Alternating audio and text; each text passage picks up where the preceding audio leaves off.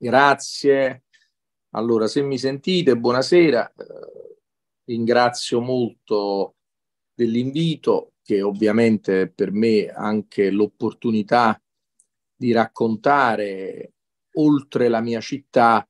quella che è stata un'esperienza sicuramente controcorrente anche nella gestione delle crisi ambientali e delle emergenze ambientali. Perché, per chi non lo sappia, eh, nel comune di Napoli insiste il eh, quartiere di Bagnoli dove c'è stata per tanti anni, poi eh, l'industria ha cessato nel 1997, l'Ital Sider di Bagnoli, una grande fabbrica siderurgica poco inferiore all'Ilva di Taranto, quindi insomma la, insieme alla Pertusola di Crotone il triangolo siderurgico dell'Italia, dell'Italia meridionale. Bagnoli è stato un grande scandalo di cui me ne sono occupato anche da parlamentare europeo prima di fare il sindaco perché presiedevo la commissione controllo bilancio del Parlamento europeo che si occupava appunto di come vengono spesi i soldi dei contribuenti europei. E Bagnoli ha beneficiato negli anni, soprattutto nella prima parte del 2000, dal 2000 al 2010 di molte, molte risorse pubbliche che dovevano essere destinate alla bonifica. E su questo poi si è acceso un dibattito molto interessante sul piano scientifico e sul piano politico, cioè come dovesse essere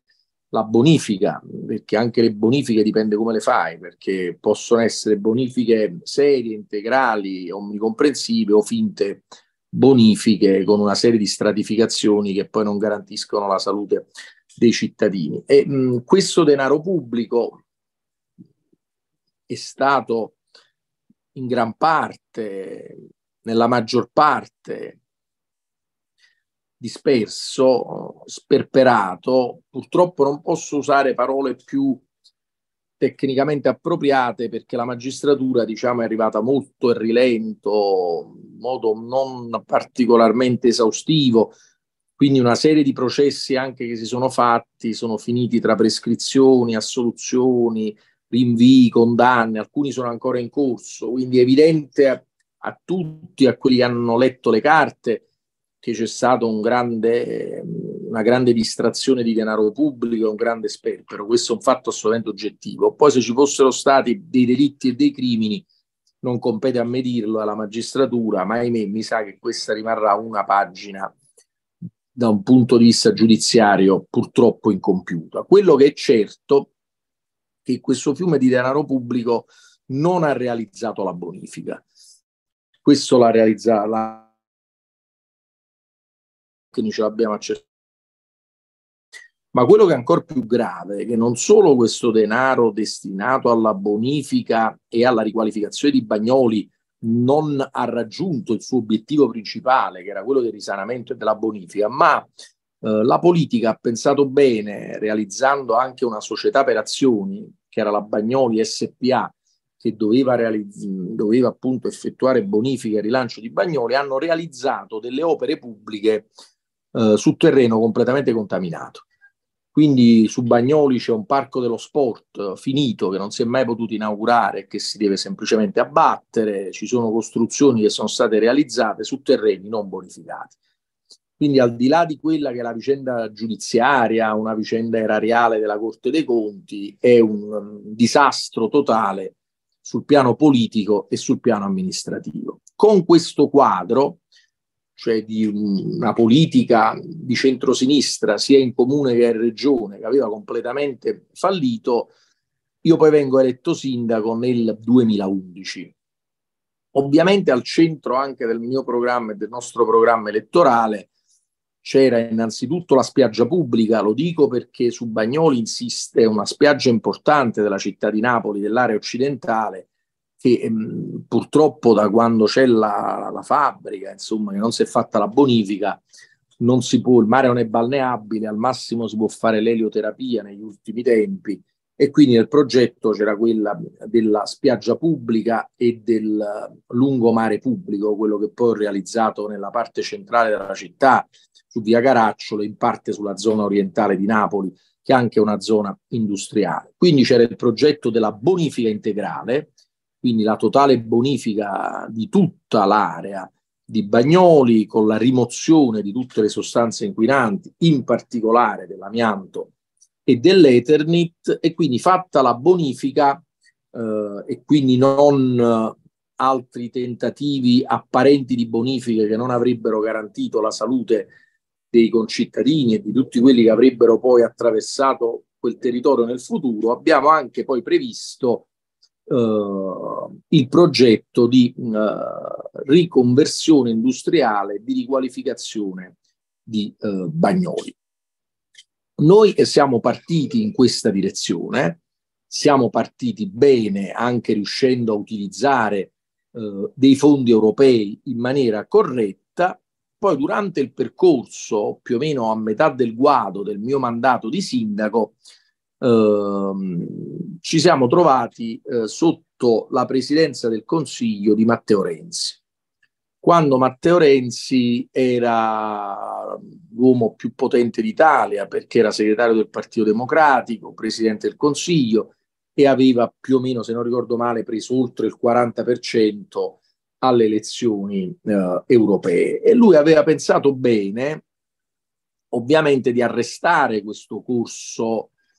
eh, rivoluzionario che stiamo facendo a Napoli, prevedere il commissariamento di tutta l'area di Bagnoli con la pretesa di andare più rapidi, vabbè, la solita litania che cacciano quando dicono che vogliono fare presto per fare i commissariamenti, fare lo stato di eccezione, avere poteri speciali, ma non per fare presto e bene, ma per derogare alle norme ordinarie, avere le mani libere per avere le mani in pasta. Quindi ovviamente un progetto completamente diverso dal nostro, affidamento dei terreni eh, ai privati, consumo di suolo, eh, insomma una serie di cose ai limiti del lecito e soprattutto quello che era scandaloso in questo commissariamento in violazione totale di tutto l'ordinamento giuridico e anche della stessa Carta Costituzionale era previsto mh, l'esautoramento di qualsiasi funzione, non solo del sindaco e della giunta comunale, ma anche del consiglio comunale, che come tutti sanno ha una mh, potestà precipua proprio in, maniera, in materia urbanistica e di pianificazione del territorio. Quindi un vero e proprio usurpazione di, di poteri, eh, un vero e proprio, diciamo, golpe istituzionale e politico provenendo da un'impostazione centralistica, ovviamente strizzando l'occhiolino a tutti quei poteri privati che avevano gestito, e poi su questo ci ritorno, e volevano rimettere le mani eh, su Bagnoli. Iniziamo un'opposizione durissima. L'opposizione fu politica, fu mia personale, della giunta, eh, della municipalità, ci sono stati cortei, manifestazioni, una imponentissima quando Renzi venne al Teatro San Carlo, il Teatro San Carlo fu circondato, il presidente del Consiglio Comunale e due assessori sono stati manganellati anche dalle forze di polizia, abbiamo fatto ricorsi al TAR, alla Corte Costituzionale, al giudice ordinario, insomma ve la faccio breve, ma in realtà mh, Renzi è stato respinto stato respinto sia sul piano popolare e politico sia sul piano giuridico e poi vabbè con un modo magari che un po' fa anche un po' sorridere ma per certi versi però per dirla come la battaglia è stata una battaglia della città poi dopo la vittoria proclamammo il comune di Napoli comune derenzizzato e fu salvaguardato la difesa delle prerogative costituzionali. L'ho detta breve, però è stata una battaglia bellissima, giuridica, politica. Poi eh, il nostro progetto era talmente fatto bene, condiviso con i movimenti, con le associazioni del territorio, di Bagnoli, della decima municipalità, che dopo Renzi venne il governo Gentiloni, col quale firmammo un accordo e devo dare atto che a Gentiloni, eh, dopo la sonora sconfitta politica sul campo, tra l'altro anche, perché è stata anche una rivolta di piazza, Gentiloni non solo ha condiviso il nostro lavoro, ha firmato l'accordo, quindi è stato un risultato è un successo straordinario. Ci tengo a dire che Bagnoli, come tante cose che abbiamo fatto durante il mio mandato, come Scampia, il progetto di abbattimento delle vele, sono tutti progetti partecipati dal basso, cioè tutti progetti sulla Bagnoli del futuro, eh, il verde, consumo di suolo zero, riconversione industriale, alloggi per studenti, edilizia popolare, beni comuni, eh, spiaggia pubblica, lungomare, tutti progetti condivisi punto per punto con tutta la cittadinanza dell'area occidentale di Napoli e della decima municipalità. Quindi non semplicemente ascoltando come si fa, che si ascoltano tutti per poi non far decidere la città, è stato deciso insieme alla città, cioè è stato deciso insieme a tutte le associazioni, a tutti i movimenti, centri sociali, collettivi, municipalità, professionisti, abbiamo sentito tutti, ovviamente anche con idee diverse, ma alla fine è uscito un progetto molto bello perché la bonifica adesso è quasi finita, insomma è passata la nostra idea della bonifica integrale e soprattutto ci tengo molto che prima che io finissi di fare il sindaco c'è stato anche il bando con cui abbiamo messo a gara internazionale la Bagnoli del futuro, quindi non speculazioni, con una forte visione pubblica, il coinvolgimento dei privati, ma in modo intelligente, con una ricaduta sul territorio, con un'idea di impresa di comunità, di consorsi, di cooperative e anche sul Città della Scienza, che fu incendiata in un incendio molto strano nel 2013, noi abbiamo ottenuto che venisse meno un po' uno scempio urbanistico, cioè quello che Città della Scienza era stata, realizzata sopra al mare. Quindi nel nostro progetto c'è la ricostruzione di Città della Scienza, ma l'arretramento verso dove ci sono le ciminiere le, e dove insomma si fa il piano di riconversione eh, industriale. Città della Scienza è un museo in qualche modo uh, futuristico della scienza che ha avuto anche un certo successo, ma che ha aperto molto dibattito in città. Vabbè, non, non entro troppo nei dettagli cittadini. Come volevasi immaginare, adesso il laboratorio Manfredi, dove siamo tornati alla restaurazione, mi dispiace che sia un laboratorio PD 5 Stelle, ma siamo in piena restaurazione, si sta tornando a mettere in discussione tutto, il piano per Bagnoli, l'approvazione della gara pubblica, città della scienza, la spiaggia pubblica, i beni comuni, si è ritornata alla politica degli interessi, di andare sotto braccio con i poteri forti, con i grandi padroni, insomma siamo tornati a quel centro-sinistra fotocopia delle destre, dove poi il popolo preferisce le destre alle fotocopie. Noi però comunque faremo la nostra parte. Io ci tengo però a raccontarvi anche una, una cosa molto importante che secondo me può essere seguita da altri sindaci se ne hanno la voglia, il coraggio e la forza, perché eh, è uno strumento molto innovativo che abbiamo utilizzato a Napoli, dove chiaramente è prevalsa anche la mia esperienza di magistrato, di pubblico ministero e quindi diciamo sicuramente eh, ho avuto questa intuizione dove poi devo dire però gli uffici del comune mi hanno seguito, soprattutto l'avvocatura che è stata molto brava, il mio capo di gabinetto, abbiamo fatto un lavoro veramente importante, perché io seguendo un po' quella che era la giurisprudenza in particolare di Raffaele Guariniello, ma non solo, del chi inquina paga, io mi sono chiesto nel momento in cui la magistratura non arriva, sta arrivando male, sta arrivando tardi, io che posso fare come sindaco, visto che ho la responsabilità, lo ricordo il sindaco è il primo responsabile della salute pubblica dei cittadini, cioè posso fare qualcosa come sindaco per ordinare, quindi poteri di ordinanza che ha il sindaco in materia di salute, per ordinare a chi ha inquinato di risarcire, di pagare eh, chi ha subito un danno. Detta così sembrava una buttata, una uscita un po' fantasiosa, un po' creativa, Invece ci siamo messi a studiare, devo dire, insieme al capo dell'avvocatura Fabio Ferrari, molto bravo, abbiamo prodotto alla fine un'ordinanza senza precedenti. L'ordinanza è a vostra disposizione, se volete ve la mando, credo sia disponibile anche consultando il sito del comune, ma altrimenti eh, ovviamente è a vostra disposizione. È datata primo dicembre del 2013, quindi esattamente dieci anni fa, dove io ordino, dopo aver fatto una ricostruzione precisa sui soggetti che avevano inquinato Bagnoli in base ai dati giudiziari, in base ai dati fattuali, agli studi, ai dati scientifici, è un lavoro molto serio sul piano scientifico, quindi non congetture, siamo arrivati innanzitutto a individuare chi aveva inquinato Bagnoli.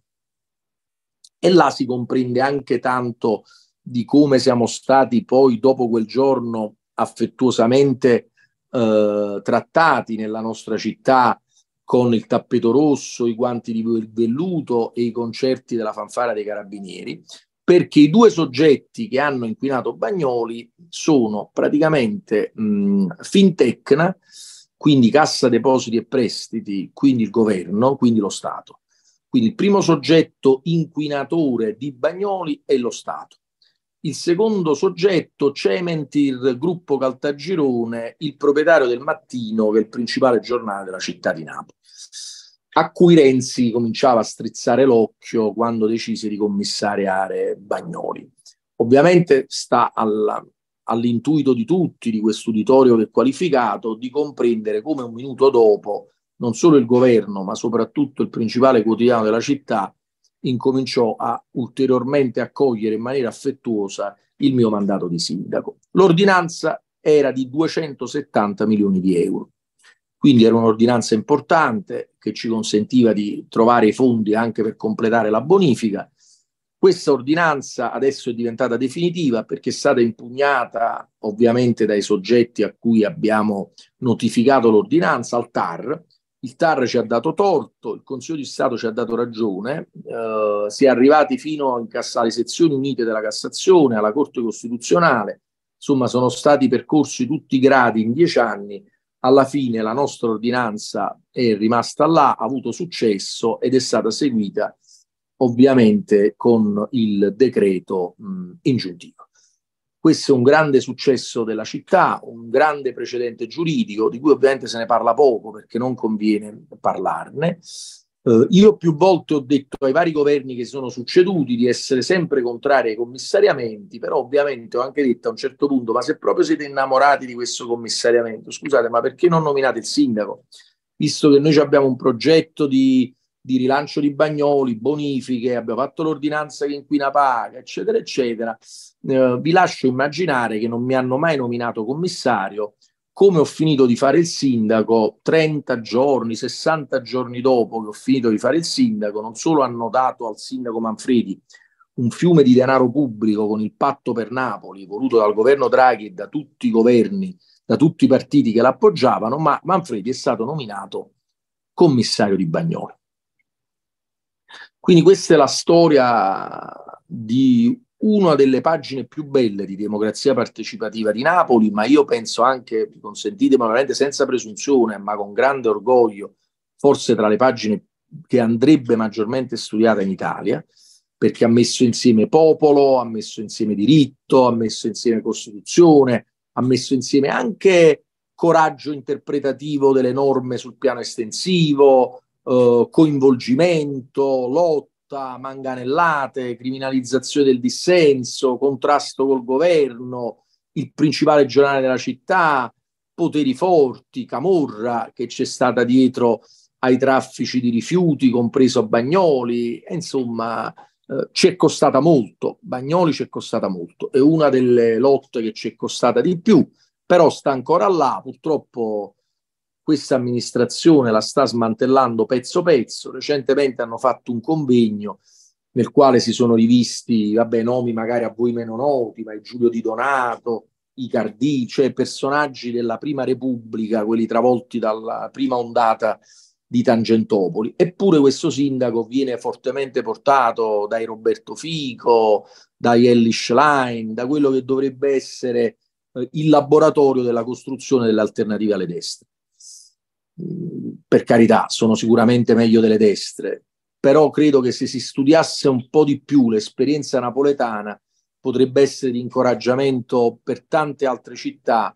dove probabilmente ci sono gli stessi germogli, gli stessi fermenti e dove dobbiamo provare a costruire dal basso in ogni luogo, in ogni territorio, secondo me, questa è la mia esperienza di uomo delle istituzioni, di uomo politico, l'unico antidoto per sconfiggere il sistema e eh, provare a creare una connessione tra il popolo che diventa partecipativo, non rassegnato, non omologato, non addormentato, non incattivito, ma indignato e eh, motivato con persone credibili che hanno valori forti, che si riconoscono nella Costituzione e che non tradiscono possono sbagliare perché tutti sbagliano e tutti sbagliamo, ma quando si siedono su quelle poltrone in cui devi esercitare il potere, riescono effettivamente a coniugare quei valori di onestà, di autonomia, di indipendenza, di libertà, di competenza, di responsabilità, di coraggio, di dedizione, perché altrimenti non ne usciamo. Perché guardate, mh, i tentativi che utilizza il potere per annientarti quando vai controcorrente sono di una violenza istituzionale che è molto, molto più violenta delle manganellate, ma molto di più. Tra l'altro la manganellata produce sempre una reazione di indignazione perché si vede, produce sangue, la gente protesta,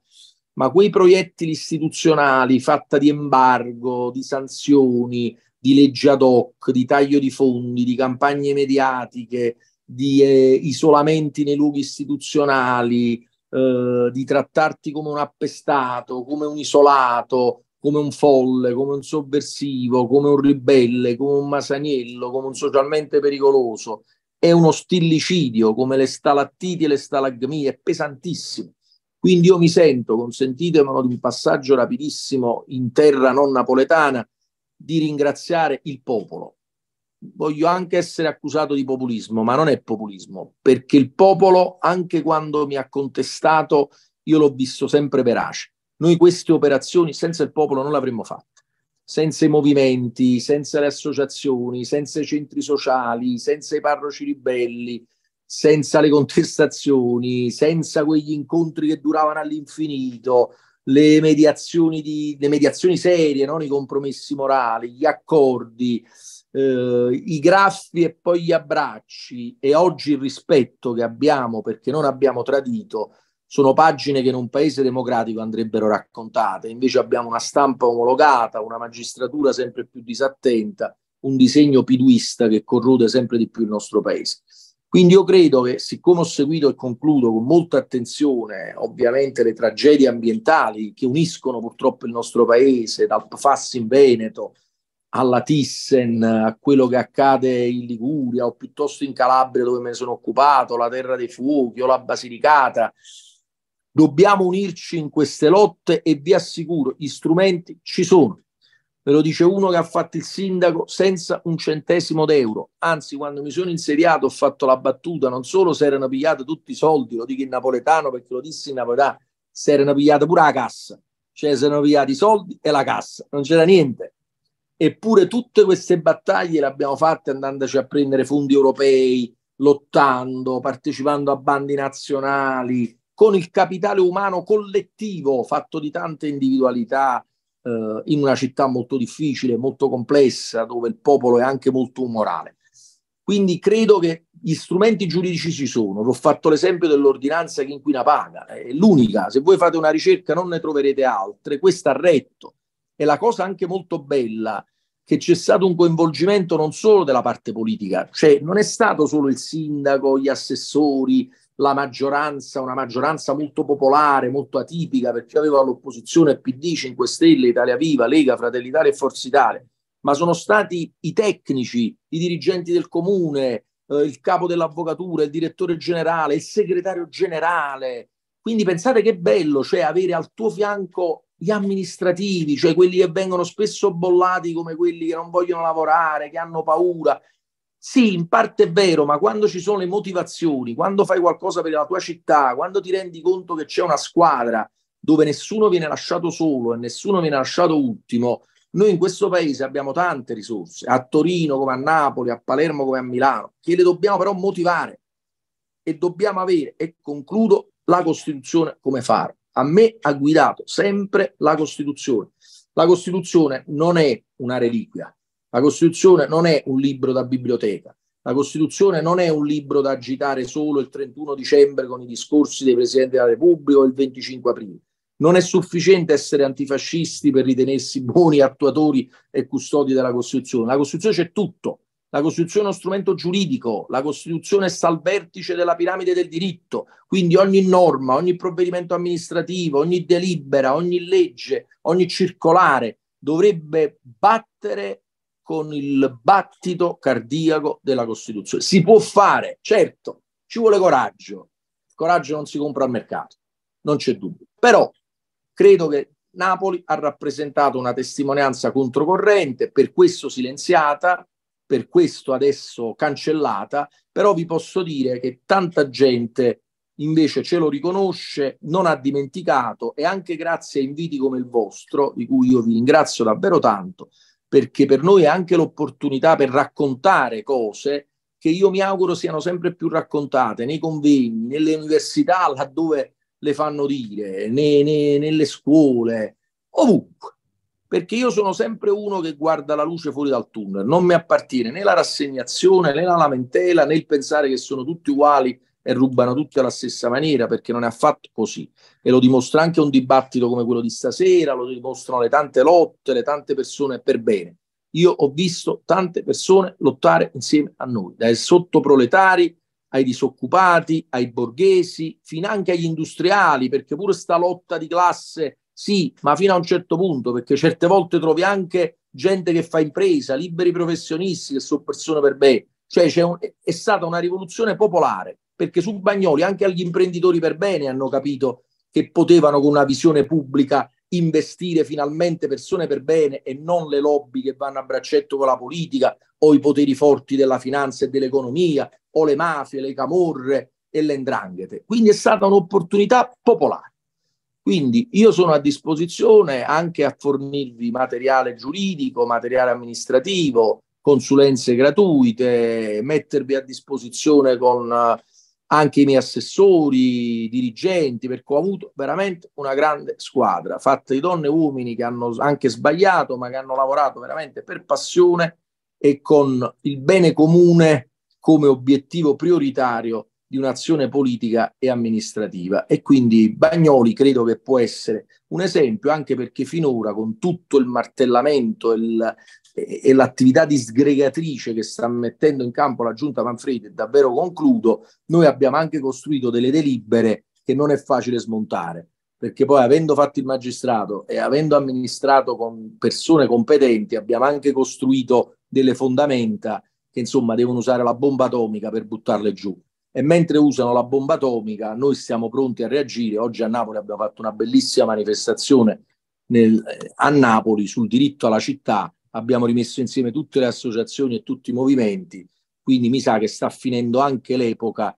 della narcotizzazione dell'oppio che hanno inalato per fermare le rivolte popolari. Quindi noi ci saremo, è un messaggio che abbiamo mandato al sindaco, non consentiremo la distruzione di ciò che ha rappresentato un patrimonio comune della città e della collettività e non un patrimonio di un sindaco che da solo non va da nessuna parte, ma ha cercato semplicemente di interpretare il mandato popolare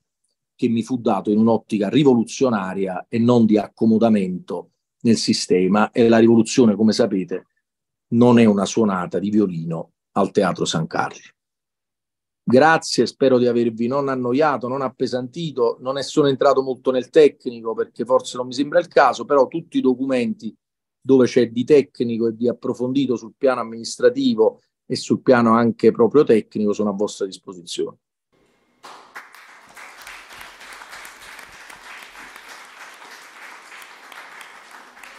Bene. A nome di tutti noi presenti, di, tutti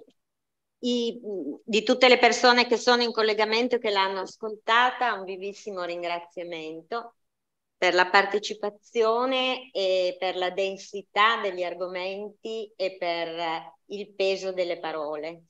E da queste parole voglio partire. Lei ha parlato di possibilità per le pubbliche amministrazioni, per i sindaci, per i consiglieri, per le cittadinanze, purché si abbia voglia, coraggio e forza. E queste tre qualificazioni mi sembrano esattamente puntuali, assolutamente pregnanti. E, si tratta di vedere se abbiamo, se avremo insieme alla politica istituzionale, questa voglia, questo coraggio, questa forza. La voglia la stiamo esprimendo questa sera. Il coraggio non manca, ci sono qui delle persone che di coraggio nella propria vita ne hanno speso talmente tante su tante battaglie, a cominciare da Mariangela. La forza, questa è un'altra questione ancora. E va appunto coltivata, curata, innaffiata attentamente. Io adesso dovrei passare la parola a Alice Ravinale che è la... Se volete, prima di salutarvi, se volete posso mettere a disposizione un po' della mia forza a titolo gratuito. Grazie. Grazie in modo da unire pure l'Italia in cose belle. Buona serata.